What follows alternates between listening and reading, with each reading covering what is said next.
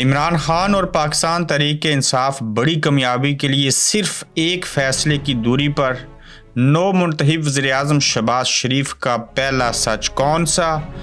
पाकिस्तान की पहली जलाद खातून वज़ीर अला ने क्या किया? नौ मई का सहारा कौन ले रहा है? जबकि इस्टेब्लिशमेंट बामुकाबला अदलिया मैच शुरू कौन जीतेगा?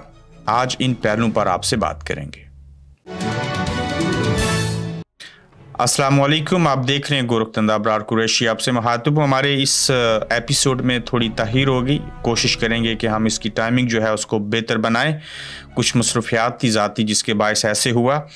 इमरान खान और पाकिस्तान तरीके इंसाफ जो हैं, वो एक बड़े फैसले की दूरी पर हैं और अगर वो फैसला आ गया तो उस फैसले की रोशनी में इमरान खान और पाकिस्तान तरीके इंसाफ को बहुत बड़ी कामयाबी होगी। और ये कामयाबी जो होगी, ये उनका पहले से हक है। सिर्फ़ देखना ये है कि इस कामयाबी को जो होना है, ये अगर हो गई तो उसके दूरस नतज क्या होंगे? इसका, इस हुकूमत के ऊपर क्या असर पड़ेगा जो आज ही मर्ज वजूद में आई? क्या इस कामयाबी के अंदर कोई रास्ता जो है रोकने वाला फिर से आ सकता है।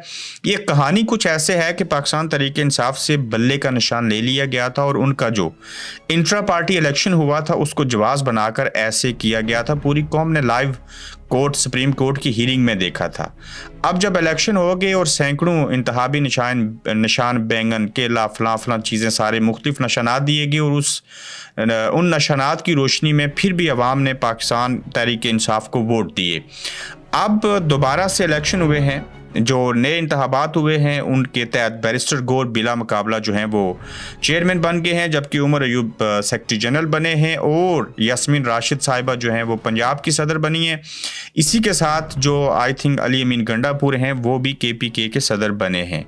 बात अहम ये है कि इलेक्शन कमीशन फैसला नहीं कर रहा, सुन्नी इतात कौंसल के पास आज़ाद उम्मीदवार चले गए, उनको एक पार्टी मिल गई, मगर सुन्नी इतात कौंसिल के पास जो है वो फार्म उन्होंने जमा नहीं करवाया था जिसके तहत ये मेंशन नहीं है कि उनको मखसूस नशस्तें और अकलीतों की नशस्तें जो हैं और ख़वान की वो दी जाएँ। तो उसके ऊपर तो कदहन लगाई जा सकती है। अब जब नया पार्टी इलेक्शन हो गया तो हाई कोर्ट के अंदर ये केस फिर से जाएगा। लतीफ़ खोसा, बैरिस्टर गौर और बाकी सारे जो हैं वो इस केस को लड़ेंगे। अब इनकी मजबूरी बन जाएगी कि इनको बल्ले का निशान वापस दिया जाए और दूसरी जानब जो इलेक्शन कमीशन ऑफ़ पाकिस्तान है, वो इसमें ताहिर कर रहा है। अगर इलेक्शन कमीशन ताहिर कर रहा है तो उसकी दो तीन वजूहत हैं। एक तो ये है कि कोई ताकतवरों का प्रेशर होगा।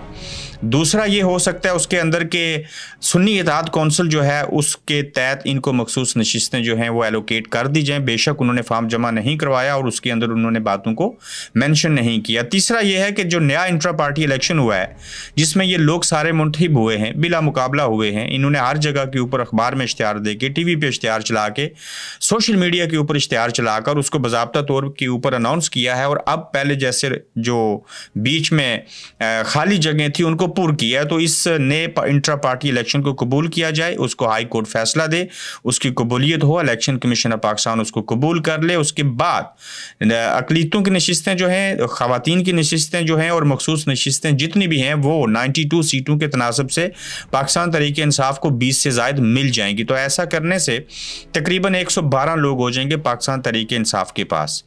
फिर ये जो इंट्रा पार्टी इलेक्शन है और फिर बल्ले का निशान वापस आ जाए तो आप हैरान होंगे कि उसके बाद क्या होगा।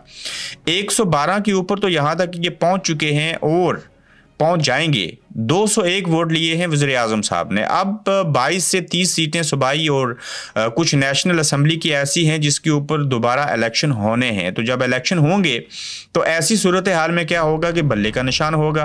पाकिस्तान तरीके इंसाफ लड़ेगी। अगर वो फिर से फ़र्ज़ करें 30 सीटें हैं और उसमें से 25 22 24 सीटें जीत जाते हैं तो इस तनासब से पाकिस्तान तरीके इंसाफ 130 सीटों तक पहुँच जाएगी।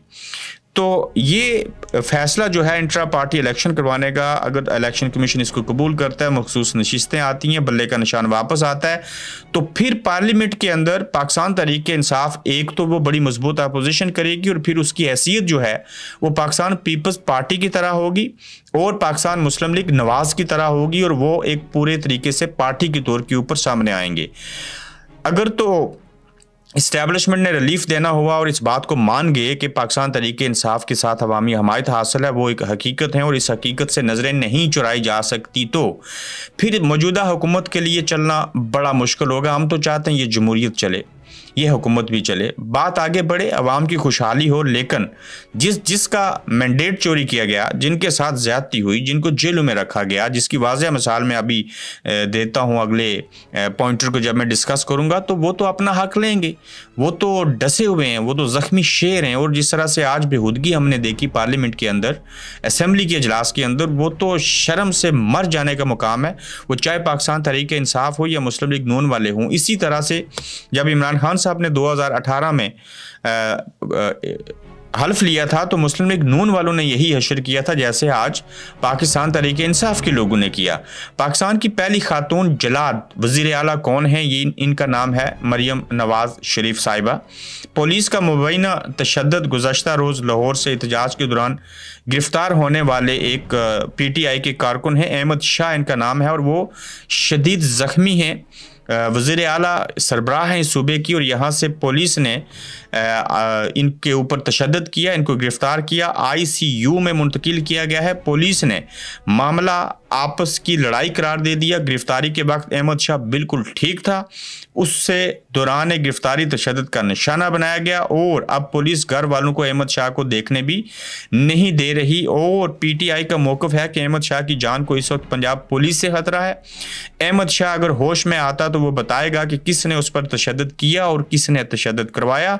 और किस किस के कहने पर हमें खदशा है कि ज़िले शाह की तरह अहमद शाह को भी कत्ल किया जा सकता है और आईजी पंजाब पर फ़ौरन पर्चा काटा जाए और इन्हें जेर हरासत लिया जाए? अमाद अजहर ने यह मुतालबा किया है। तो ये जो सारी सूरत हाल है, इसकी ज़िम्मेदार कोई आईजी पुलिस कम है, मरियम साहिबा ज़्यादा हैं, वो इस सूबे की सरबराह हैं और इसलिए हमने जलाद का लफ्ज़ इस्तेमाल किया कि आप वज़ी अला बनी हैं और पी टी आई के जो लोग हैं, उनके ऊपर चीज़ें हो रही हैं। इमरान खान के दौरे हुकूमत में भी इंतकामी कार्रवाइयाँ होती रही। आपने तो कहा था कि हम किसी से इंतकाम नहीं लेंगे। आपके मद्द मुकाबल जो पाकिस्तान तरीके इंसाफ के उम्मीदवार थे, उनसे तो आप जाके मिली भी थी, लेकिन बात कहती कुछ और हैं, आप करती कुछ और हैं। शबाज शरीफ साहब ने, जो ही वजी अजम मुंतब हुए तो पहला जुमला बोला, ज़ुबान फिसली, सच सामने निकला। और उन्होंने कहा कि, शुक्रिया, मुझे आप लोगों ने अपोजिशन लीडर जो है वो मुंतब किया और शबाज के मुँह से सच निकल गया। ये मैं नहीं कह रहा, ये सोशल मीडिया कह रहा है, एक वीडियो बनी, वहाँ पे दर्जनों कैमरे होते हैं। और आपने मुझे इस जबान का लीडर ऑफ़ द अपोजिशन मुंतब किया है, इस तरह के अल्फाज उन्होंने कहे, जबकि आदतें जो हैं वो उन्होंने बदली नहीं और हकीकत में उनको होना ही अपोजिशन लीडर चाहिए था और वो वज़ी अजम बन के और ज़ुबान से इस तरह से सच निकल गया। इस्टेब्लिशमेंट बामुकाबला अदलिया। एक नया मैच शुरू हुआ है और नौ मई का सहारा कौन ले रहा है? नौ मई का सहारा जो है वो नौ मुंशी वजी अजम शबाज शरीफ साहब ले रहे हैं और उनका कहना है कि सान नौ मई के ज़ख्म आज भी पूरी कौम के सामने हैं। जिसम पर ताज़ा हैं। हम खराश भी नहीं कर सकते। ज़ख्म को छेड़ा तो वो बिखर जाएगा। मुजरम हर सूरत में कानून का सामना करेंगे और इंसाफ और कानून अपना रास्ता बनाएगा। जी, बिल्कुल रास्ता बनाएगा और पिछले कई महीनों से रास्ता बना रहा है और नौ मई की कोई कमेटी नहीं बनी, कोई कमीशन नहीं बना। आज तक ये साबित नहीं हुआ कि ये इस्टेब्लिशमेंट ने करवाया पीटीआई ने किया, या नो लीग थी, या उसके पीछे निगरान हुकूमत थी, या इसके मकासद क्या थे? हाँ मकासद तो समझ आ गए, लेकिन असल जो इसके मोरे थे, वो आज तक सामने नहीं आ सके। तो नौ मई का सहारा आज भी वजी ले रहे हैं। इमरान खान के बैजेस पहने थे उमर यूब ने जब वो तकरीर कर रहे थे तो इसलिए उनको फ्रंट कैमरे से दिखाने के बजाय पीछे जो बाएँ तरफ़ का कैमरा था, उससे उनका सीन दिखाया गया। तो जब आप इमरान खान की फ़ोटो नहीं दिखाना चाहते, नेशनल टेलीविज़न के ऊपर उनका नाम नहीं चलने दे रहे, फिर से वही चीज़ें कर रहे हैं। या तो ये एक जाल होगा मुस्लिम लीग नून वालों को पीपल्स पार्टी को धोखा देने के लिए, या दूसरी तरफ़ जो है वो अंदरून खाना डील हो सकती है, हकीकत को तस्लीम किया जा सकता है, इमरान खान की पार्टी वापस आ सकती है, बल्ला मिल सकता है, ये आने वाले एक से डेढ़ हफ़्ते में आपको सारी सूरत हाल समझ आ जाएगी।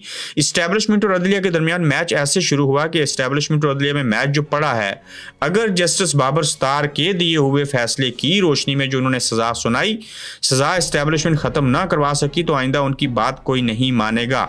नजम सेठ ही ऐसे कह रहे हैं कि इस्टेब्लिशमेंट और अदलिया में मैच पड़ गया। अगर जस्टिस बाबर स्तार की दी गई सजा इस्टेब्लिशमेंट ख़त्म ना करवा सकी तो आइंदा इनकी बात कोई ब्यूरोक्रेट, कोई डीसी नहीं मानेगा। तो इस सिलसिले में देखना यह है इस्टेब्लिशमेंट जीतेगी या जज बाबर स्तार जीतेंगे, अदलिया जीतेगी या इस्टेब्लिशमेंट जीतेगी, ये लोग जेल जाएँगे, सज़ा बरकरार रहेगी या सज़ा ख़त्म हो जाएगी। इस सिलसिले में भी ये एक बड़ा अहम नुकता है, चूँकि जज डटे हैं, कुछ जज अच्छे हैं इस्टेब्लिशमेंट अपने बंदों को बचाएगी, अगर ना बचाया तो फिर आइंदा कोई ब्यूरोक्रेट उनके लिए काम करने के बारे में दस बार सोचेगा। तो ये आज का दूसरा गोरख धंधा था, अपना ख्याल रखिएगा। फिर इनशाला आपसे मिलेंगे। आप देख रहे हैं गोरखधंधा अब्रार कुरैशी के साथ।